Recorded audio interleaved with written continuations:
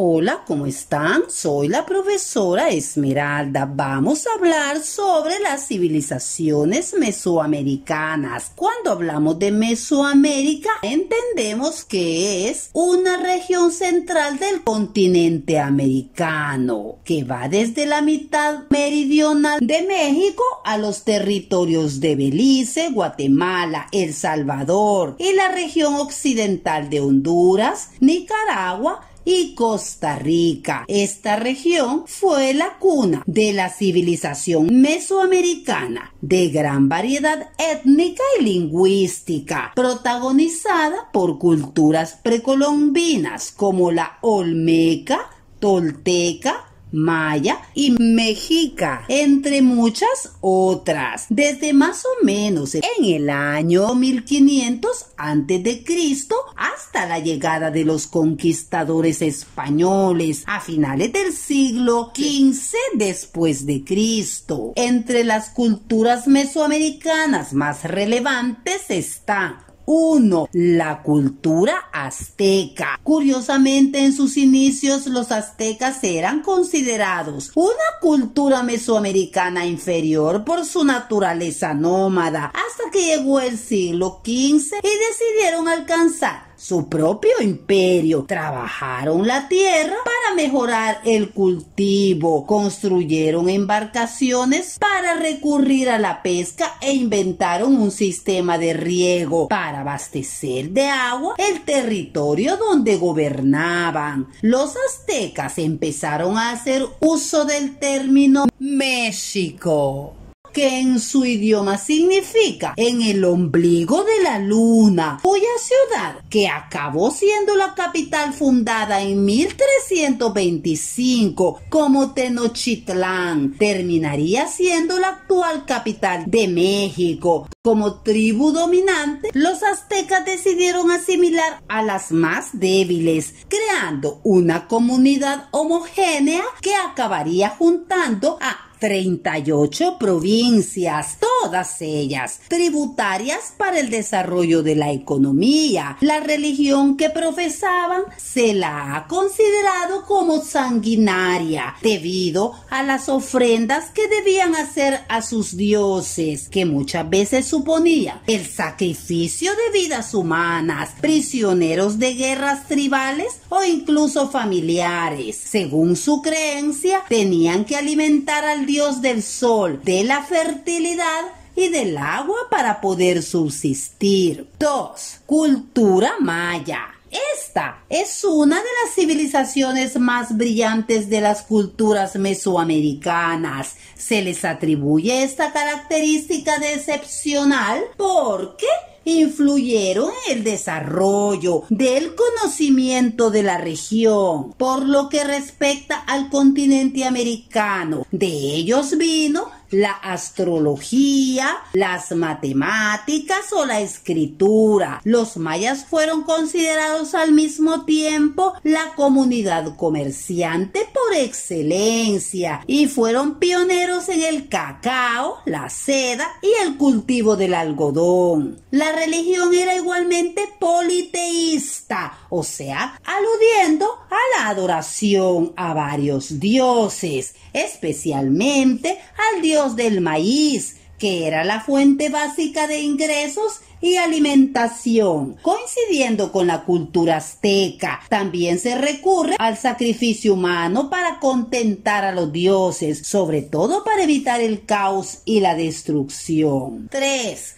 Cultura olmeca. La cultura olmeca es también conocida como la madre de las culturas de Mesoamérica y representa una de las más antiguas que poblaron y florecieron en el continente americano, especialmente en el trópico. Existe evidencia olmeca desde hace al menos 3.000 años. Una de sus majestuosas obras son las cabezas colosales que representaban los retratos de quienes gobernaban los trópicos en los que ahora son los estados de Veracruz, Tabasco, Oaxaca y Chiapas en México. Su religión era politeísta, es decir, que creían en muchos dioses. Tenían animales sagrados como el jaguar, al que se le rinde culto abundante, pero también los sapos, caimanes y toda una vasta mitología de seres con cabeza de uno y cuerpo de otro. 4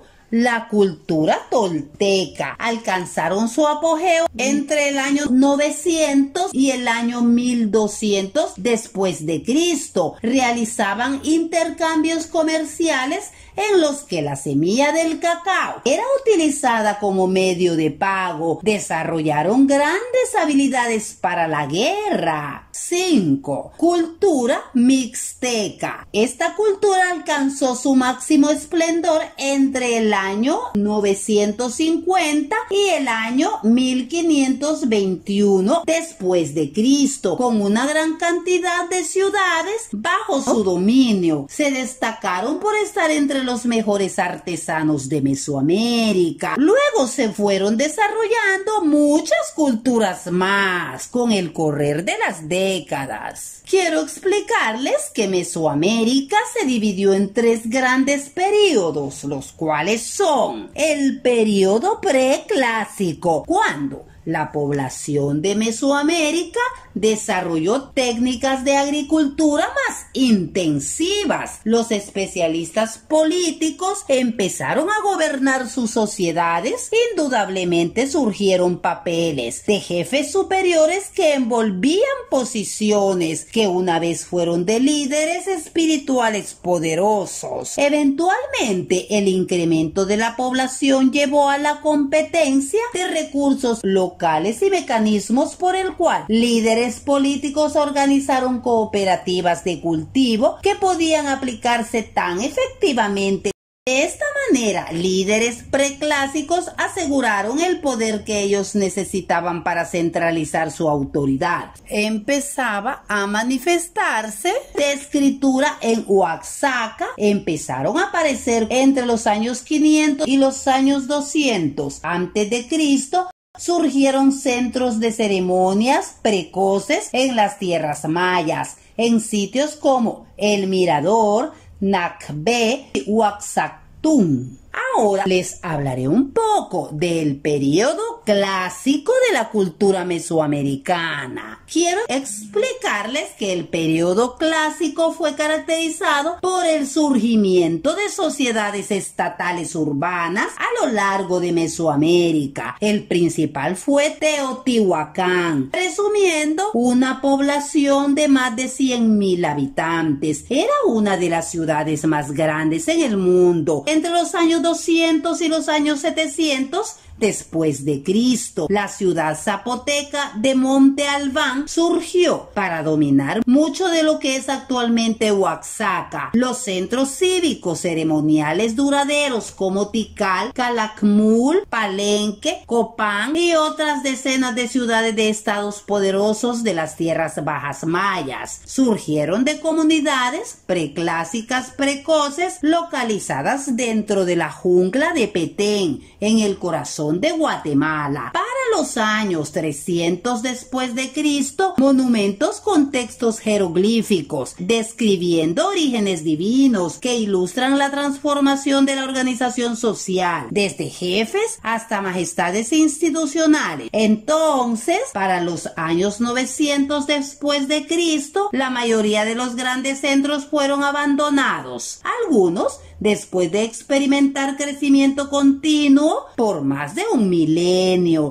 Muchas teorías postuladas para la explicación del colapso de la sociedad, pero ningún factor en particular cuenta la historia completa. La mayoría de las ideas se enfocan en la inestabilidad fundamental de la élite clásica de las organizaciones sociopolíticas, compuestas por la degradación medioambiental como los cambios de clima y la disminución de los recursos debido a la sobrepoblación. Algunas áreas dieron testimonio de un florecimiento breve de estados secundarios entre los años 800 y los años 1200 después de Cristo. Era llamada el clásico épico, centros ceremoniales como Uxmal, Xochicalco, Cacaxtla y el Tajín fueron renombrados por sus extraordinarios desarrollos artísticos en sus fachadas de piedra, de mosaico intrincado y las pinturas al fresco. El periodo postclásico. Durante el periodo postclásico,